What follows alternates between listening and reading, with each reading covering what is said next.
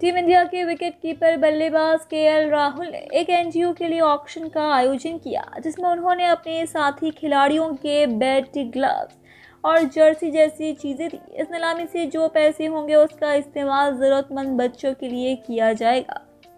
जी हाँ के एल राहुल और आथिया शेट्टी ने अपनी माँ के एक एनजीओ के लिए ऑक्शन का आयोजन किया था। इस ऑक्शन में विराट से लेकर धोनी तक की चीज़ें नीलाम हुई इस नीलामी में विराट कोहली की चीज़ों की धूम रही।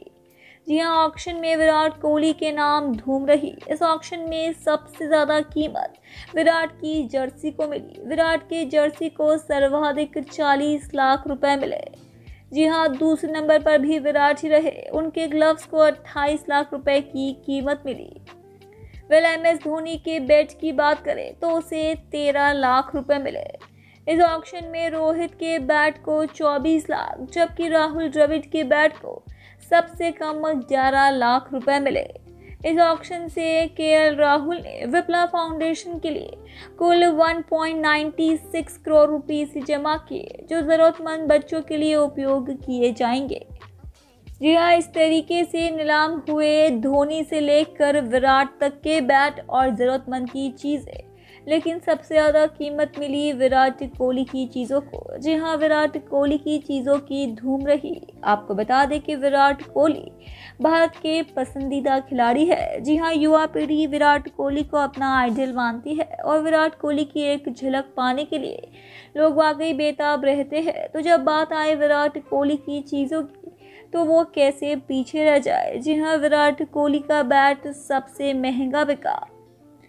जी हाँ विराट कोहली की जर्सी हो, विराट कोहली का बैट हो, विराट कोहली के ग्लव्स हो या फिर और चीज़ें।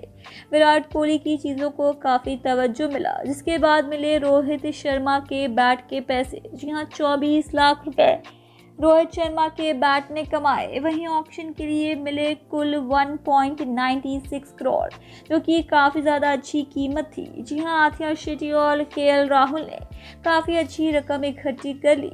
जी हाँ राथिया शेट्टी की माँ के एनजीओ के लिए इन दोनों ने मिलकर काफ़ी अच्छा काम किया।